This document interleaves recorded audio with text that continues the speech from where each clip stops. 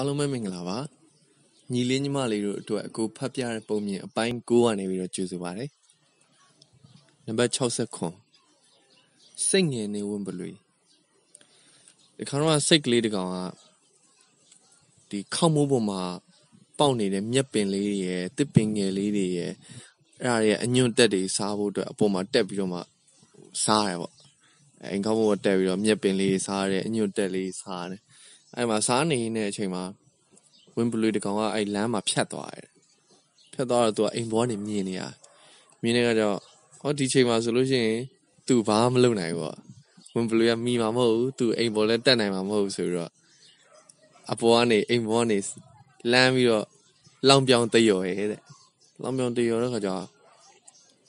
အဲ့ဟောဝင်းဘလူးကကြာကြားပြီးတော့ပြန်ပြော အိုးစိတ်ကလေးတဲ့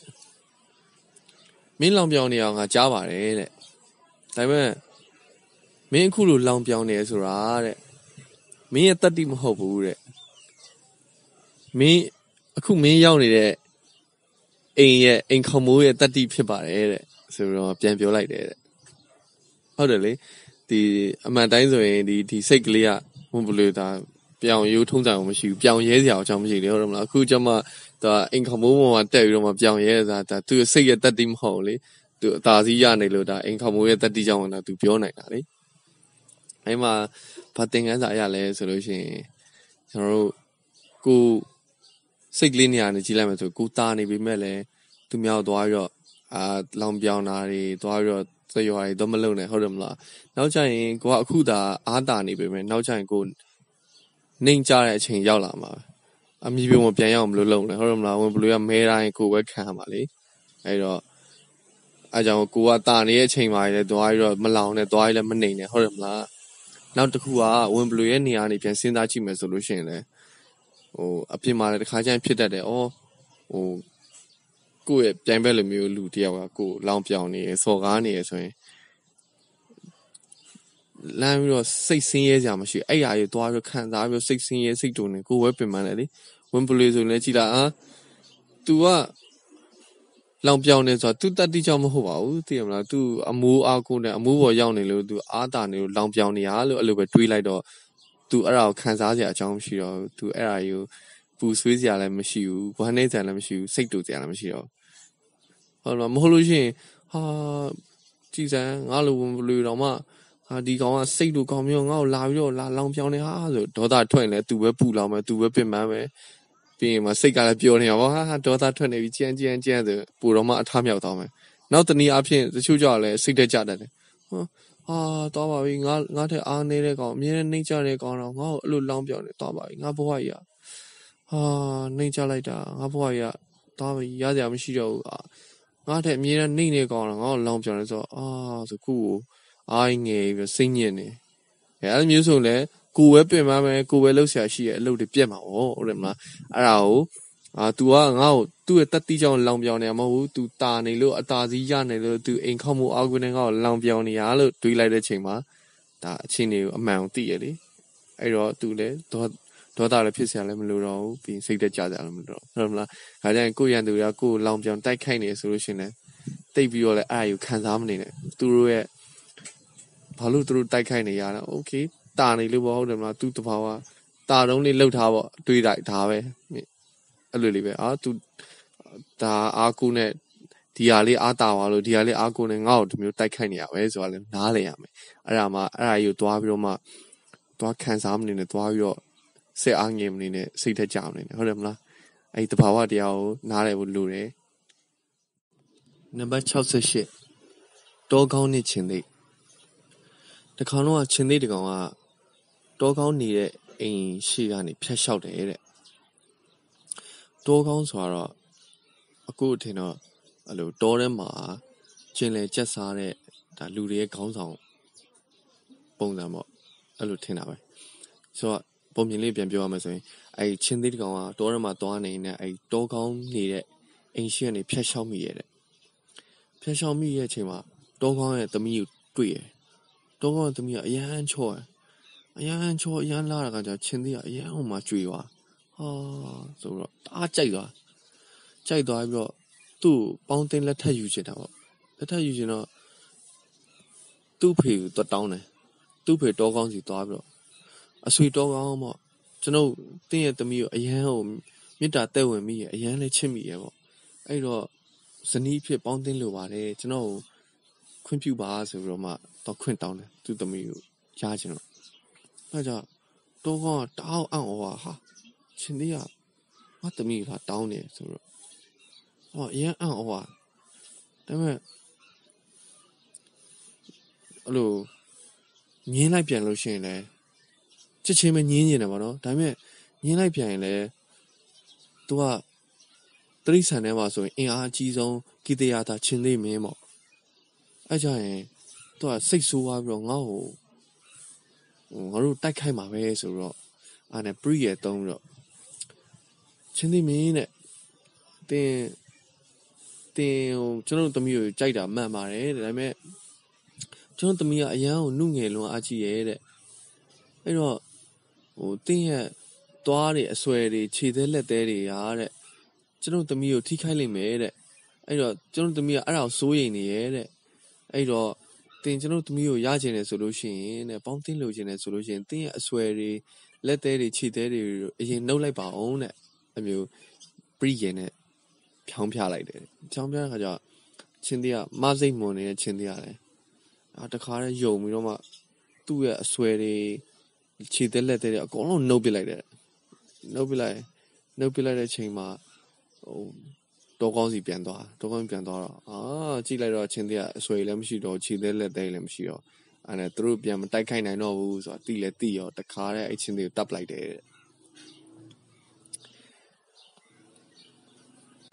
ပုံမြင်လေးနေကနေဘာလို့သင်ခန်းစာရလဲဆိုလို့ရှိရင်ခါကျရင်အချစ်စိတ်ရမ်းမွန်ပြီးတော့အကျိုးအကြောင်းအဆိုးအကောင်းတွေမခွဲခြားတတ်တော့ဘူးเนาะအဲ့ဒါလေးကိုသတိထားမယ် ဒါအမြဲတမ်းပဲဖြစ်တယ်လေသမိုင်းထဲမှာလည်းအများကြီးပါတယ်ရာဇဝင်ထဲမှာလည်းအများကြီးရှိလေဟုတ်တယ်မလားအာအချစ်ကြောင့်မို့အချစ်တွန်းနဲ့ဘာမှမမြင်နိုင်တော့အာလဲစားခံရတာတွေမြားခံရတာတွေပရိရတွေဒါအကုန်လုံးကကိုယုံမားတဲ့ကိုယ့်ရဲ့ချစ်စိတ်တွေအယမ်းမွန်နေလို့အဲ့တော့အမြဲတမ်းချစ်တာချစ်ပါဒါပေမဲ့နှလုံးသားကြီးပဲအရန်ကြီးပဲ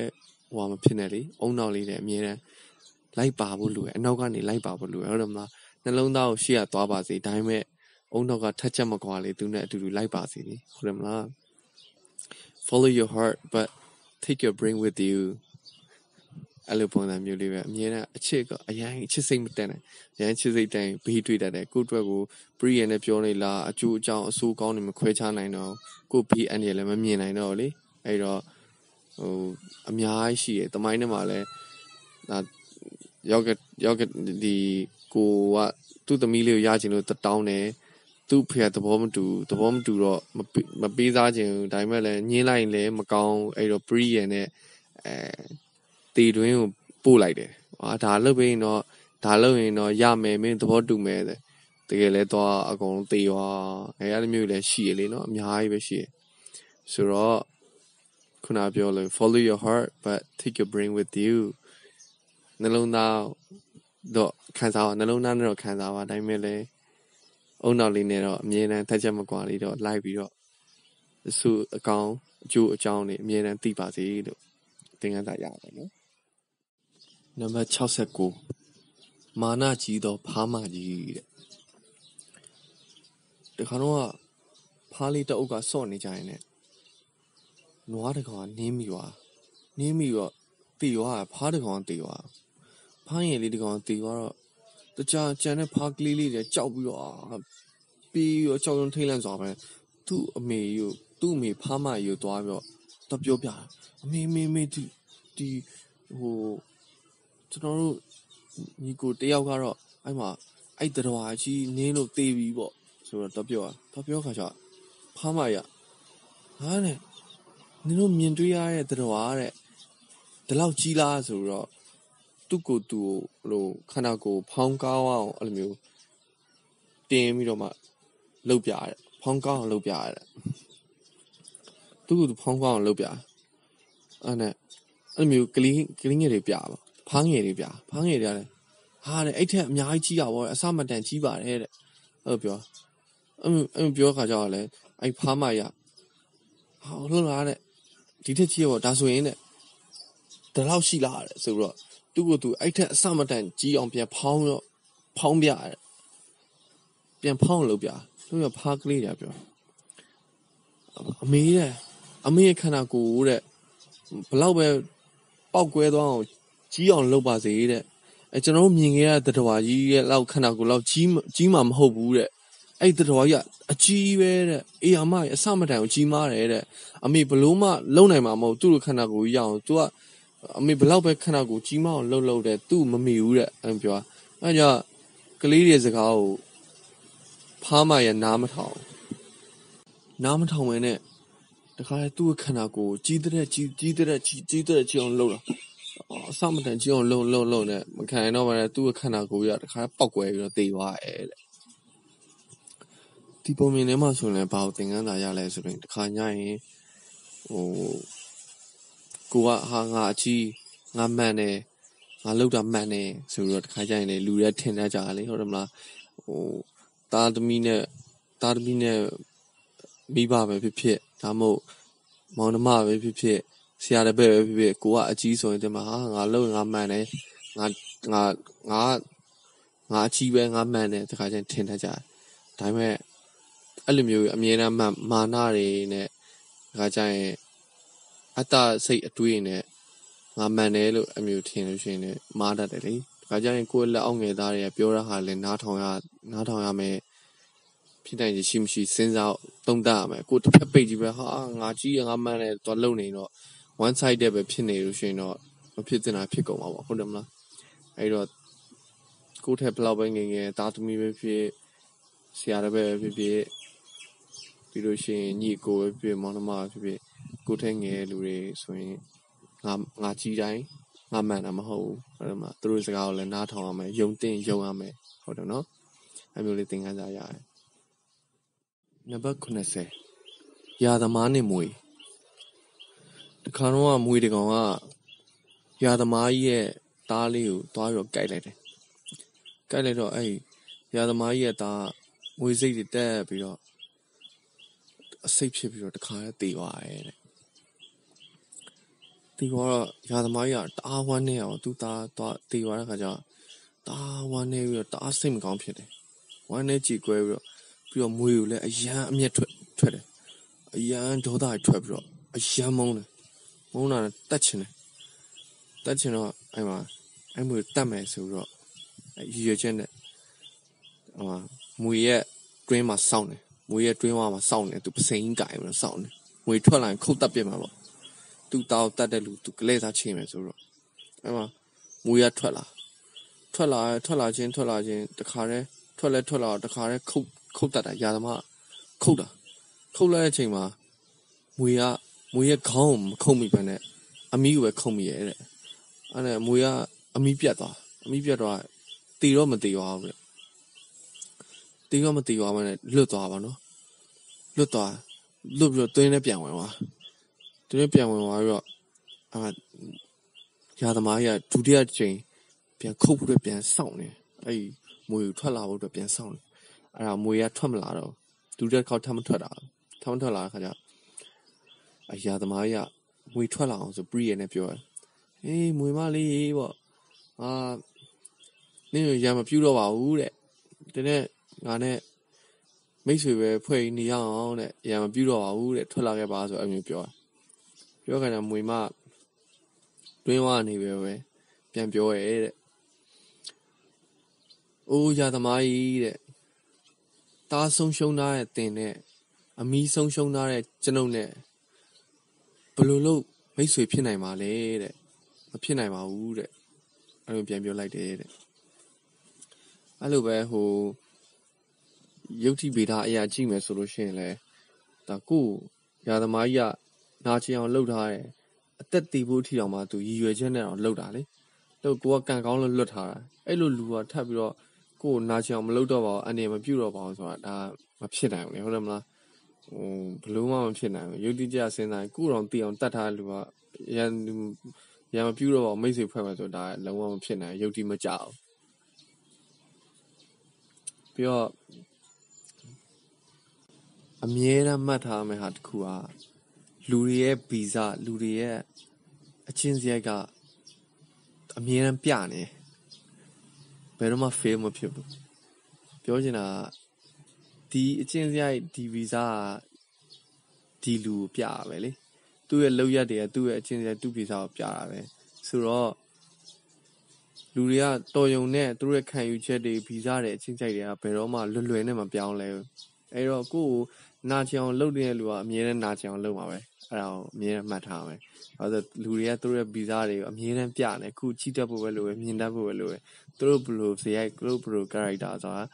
အမြဲတမ်းချီတက်ဖို့ပဲလိုပဲလေဟုတ်တယ်မလား။နောက်တစ်ခုကကျတော့မွေမပြောတဲ့ဟာအာအနေဘာသင်ခန်းသက်ရလဲဆိုဟုတ်တယ်လေရာသမားကြီးကသူ့ရဲ့သားဆုံးရှုံးတာသူကသူ့အမီးအောင်ပြတ်တာအဲ့ဒါနဲ့ဘလို့လို့မိတ်ဆွေဖြစ်နိုင်ပါလဲဟုတ်တယ်မလားတကယ်တမ်းရာသမားကြီးကမိတ်ဆွေဖြစ်ချင်တယ်ဆိုရင်တော့မဖြစ်နိုင်ဘူး ဘာဖြစ်လို့လဲဆိုတော့တယောက်တယောက်ဆုံးရှုံးမှုတွေနစ်နာမှုတွေအရန်ဖြစ်ထားတယ်အဖုထစ်တွေဖြစ်ထားရင်ဘယ်တော့မှ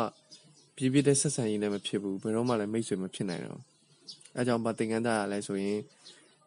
တယောက်နဲ့တယောက်နစ်နာအောင်ထိခိုက်အောင်နေဆုံးရှုံးမှုကြီးအောင်နေမလုပ်ကြဘူးဟုတ်တယ်မလားအဲ့ဒါမှပဲရန်သူတွေမဖြစ်သွားမှာတယောက်တယောက်မဝေးသွားမှာလीအဲ့တော့ကိုချစ်တဲ့လူတွေဆိုလို့ရှိရင်တယောက်နဲ့တယောက်နစ်နာမလုပ်မိပါသေးနဲ့နစ်နာမပြောမိပါသေးနဲ့ အရင်ဟိုထိခိုက်အောင်နစ်နာအောင်နေမလုပ်မိပါစေနဲ့ဟုတ်တယ်မလားလုံးမိသွားရင်ချစ်တဲ့လူဘယ်တော့မှထပ်မဖြစ်တော့အဲသူဝေးွားမှာရန်သူပဲဖြစ်ဖို့ပဲရှိတော့ဟုတ်တယ်မလားအဲကြောင့်ကျိုးဆိုတာဖြတ်ပြီးသွားရင်ပြန်ဆက်လို့ရှိရင်လည်းကျိုးအထုံးပဲဖြစ်လာမှာပဲအဲ့တော့ဘယ်တော့မှကျိုးအဖြောင်းတိုင်းထပ်ဖြစ်လာမှာမဟုတ်ဆိုတော့ကိုချစ်တဲ့လူနဲ့မဝေးခြင်းကိုချစ်တဲ့လူနဲ့ရန်သူမဖြစ်ခြင်းတယောက်နဲ့တယောက် နစ်နာအောင်ထိခိုက်အောင်မလုပ်ကြနဲ့ဆိုတာဟာလေးသင်ခန်းတရားပါနော်နံပါတ်81တိုးနေဝက်တခါတော့ကအဲတိုးစချက်တစ်ခုမှာဝက်တကောင်ကမထိမ့်မပဲနဲ့ရောက်လာရောက်လာတဲ့ခါကျတော့အဲတိုးချောင်းသားနေပြီးတော့အဲဝက်ကိုတားတိုက်ယုံပို့ဖို့ဆိုပြီးတော့တခါတည်းဖမ်းဖမ်းဖို့လုပ်တယ်လုပ်တဲ့ခါကျတော့အဲမှာဝက်ကလည်း အာသူအသက်သေးမှာကြောက်တော့တခါတည်းမလိုက်ချင်ဘူးမလိုက်ချင်မနဲ့လှုပ်ဖို့အတွက်ရုံးရင်းစာကတ်တွေလှုပ်ပြီးတော့အာအော်ဟက်ပြီးတော့အတင်းနေရုံးတာပေါ့နော်ရုံးကကြောက်အဲ့ဒါကိုတိုးတွေကမြင်တော့တိုးတွေတတိုက်ကလာပြီးတော့သူ့နောက်ချင်းကပ်ပြီးတော့လာပြောတယ်ဟဲ့အောင်ဝဲတဲ့မင်းကဘာဖြစ်နေရတော့တဲ့ငါတို့ဆိုရင်လည်းအဲ့တိုးချောင်းသားခဏခဏငါတို့ဆိုလည်းအဲ့လိုဖမ်းဖမ်းခေါ်သွားပြီးတော့ အဲ့ဒါခေါ်ခေါ်ရတာတဲ့ခဏခဏပဲငါတို့ဆိုလည်းမင်းလိုမអော်ပါဘူးကွာတဲ့မင်းအဖြစ်တဲလိုက်တာတဲ့အမျိုးအပြစ်တင်နေတဲ့ပြစ်တင်ကကြောင့်ဝက်ကပြန်ပြောဒီမှာတဲ့မင်းတို့တဲ့တူးကြောင်းသားဖမ်းခေါ်ရဲဆိုတာမင်းတို့ခေါ်သွားပြီးတော့မင်းတို့ကိုကအမွေးညက်ပြီးတော့ယူဖို့မင်းတို့အမွေးပဲယူဖို့အတွက်ခေါ်တာတဲ့ငါ့ကိုခေါ်ဖို့လုပ်တယ်ဆိုတာငါ့ကိုတတ်ပြီးတော့ငါ့အသားကိုယူဖို့လုပ်တာကွာတဲ့ အဲအကြောင်းမို့ငါအဲ့လိုမအော်ဘဲနဲ့မယုံဘဲနဲ့အဲ့လိုနေနိုင်ပါမလားတဲ့အဲ့လိုပြန်ပြီးတော့ပြောလိုက်တယ်အဲ့ဒီထဲကနေဘာကိုသင်ခန်းစာရလဲဆိုရင်ကျွန်တော်တခါကြရင်အာဒါလောက်ကငါလည်းဖြစ်ဘူးပါကွာသိရမလားမင်းမင်းကြောင့်မှအဖြစ်သေးနေတာအဲအဲ့လိုမျိုးတွေခါကြရင်အများကြီးကျွန်တော်ဖြတ်တန်းနေလူဘဝမှာလည်းအများကြီးတွေ့ဘူးပဲအများကြီးမြင်ဘူးပဲအဲ့လိုပဲလေဟို ကယ်တမ်းကျတော့လူတိုင်းကကို့အပူနဲ့ကိုကို့တန်ရဘလောက်နဲ့လဲကိုကိုယ်နိုင်ပဲသိရယ်ကို့အပူကိုဘလောက်ရုန်းကန်နေရလဲကိုပဲသိရလေလူတိုင်းကရုန်းကန်နေမှန်တယ်အဖြစ်ပြက်တွေတူတယ်မှန်တယ်ဒါပေမဲ့ခံစားပုံချင်းမတူကြဘူးအဖြစ်ပြက်တူတယ်ဒဏ်ရာတူတယ်ဆိုရင်တော့မှသူတို့ရသွားတဲ့ဒဏ်ချက်ကမတူကြအောင်ဘလောက်နဲ့တယ်မနဲ့ဘူးဆိုတော့မတူကြအောင် အဲ့လိုပဲဟိုအာငါတော့ဆိုဘာမှဖြစ်မင်းကြောင့်ဒီလောက်ဒီအဖြစ်တဲနေလိုက်တာကွာအဲဒီမှာရီစားနဲ့ပြတ်တယ်ဆိုတော့ငါတော့လည်းရီစားနဲ့ပြတ်ဘူးပါကွာမင်းရီစားနဲ့ပြတ်တဲ့ကောင်ကဒီလိုမျိုးဖြစ်နေတာအာဆိုလောင်ပြောင်းအပြစ်ပြောရမိမတူဘူးလေဟုတ်တယ်မလားရီစားနဲ့ပြတ်တာချင်းတူတယ်ဆိုတော့မှကိုကဘလောက်ပဲစိတ်ထဲရလို့လေ तू ကဘလောက်ထိအောင်မှယုံကြည်ခဲ့တယ်ဘလောက်ပြီးတော့အဲ့လိုမတူဘူးသူ့မှာသူ့အကြောင်းနဲ့သူရှိရယ်သူ့ရဲ့ struggle လုပ်နေရဟာသူရှိရယ်သူ့တိုင်းဟာဘလောက်နဲ့လဲ သူခံစားရသူပဲတည်ရလေအဲတော့ခါကြရင်ကျွန်တော်တို့အဲ့လိုသူများရဲ့ဒဏ်ရာတွေကိုမဆာနာခြင်းနေမတိခြင်းနေအဲ့လိုတီးဖို့မကြိုးစားခြင်းနေအဲ့လိုမျိုးသူများရဲ့ဒဏ်ရာတွေကိုသွားပြီးတော့မှကိုချင်းစာမှုမလုပ်ပေးခြင်းနေသူများအဲ့ဒီဒဏ်ရာကိုသွားပြီးတော့မလောင်ပြောင်မိပါစေနဲ့ဟုတ်တယ်မလားဆိုတော့သူတို့မှသူတို့ခံစားရသူတို့သိရလေသူတို့ဒဏ်ရာဘယ်လောက်နဲ့သူတို့သိရလူတိုင်းက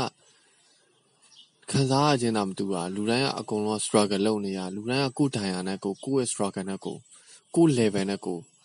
ဒါပေမဲ့ရင်ဆိုင်နေရတဲ့ဒီ diver ကတော့အတူတူပဲဟုတ်တယ်မလား level ဒါကွာသွားလိမ့်မယ်အကုန်လုံးကသူကသူ့အပူနဲ့သူရှိနေကြတယ်လေအဲ့တော့ကိုကမဆာနာပေးခြင်းနေ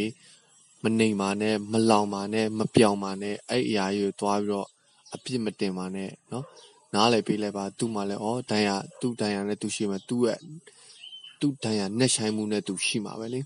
အဲ့တော့အဲ့ဒါလေးကိုကျွန်တော်တို့သတိပြုမိဖို့လိုတယ်တခါကျရင်ကိုဒါတဲ့ခဏခဏဒီလူနေမှုပတ်ဝန်းကျင်မှာအများကြီးတွေ့နေကြပါလေလူလူတွေက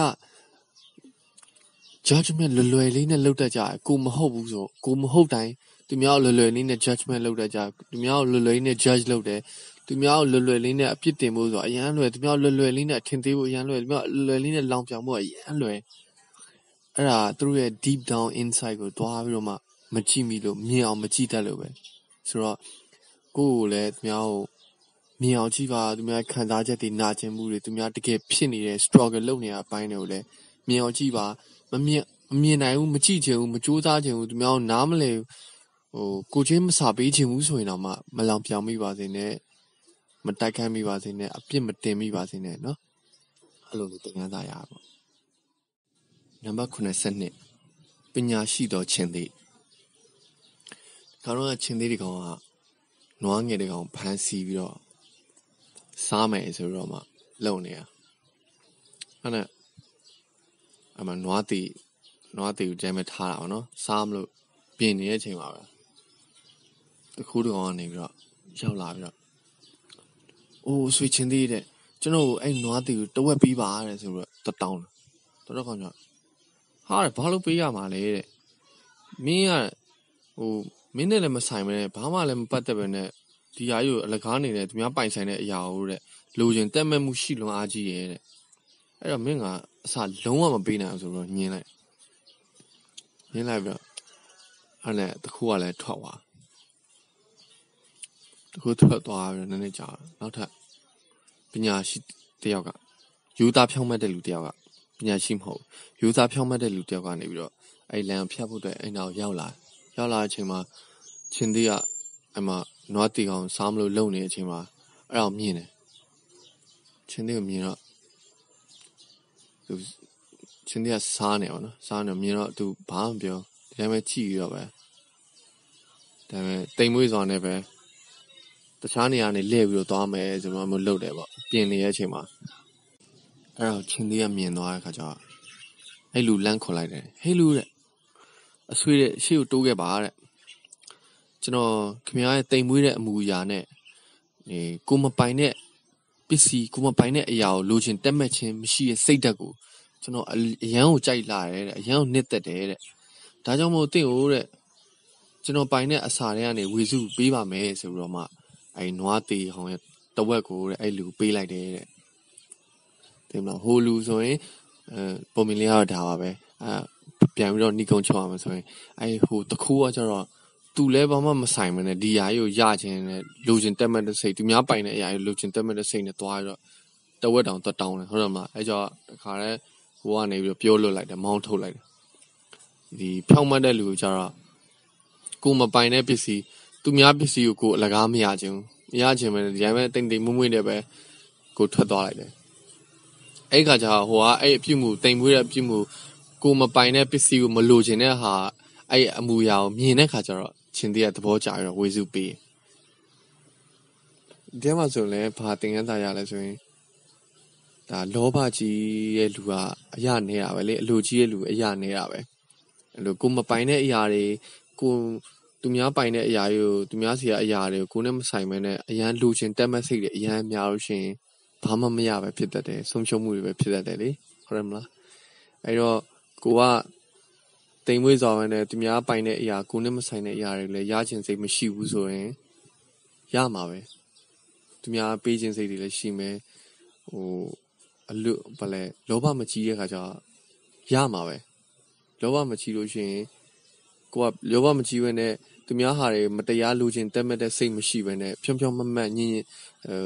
ဟိုဘယ်လိုပြောလဲတိမ်တိမ်မွေ့မွေ့ဖြောင်းဖြောင်းမမတ်နဲ့နေရဆိုလို့ရှိရင်သူများပေးခြင်းကမ်းခြင်းတဲ့လူတွေအခွင့်အရေးပေးခြင်းတဲ့လူတွေအခွင့်အလမ်းပေးခြင်းတဲ့လူတွေတပုံကြီးပဲလေဟုတ်မလားအဲကြောင့်မို့ကိုကိုကို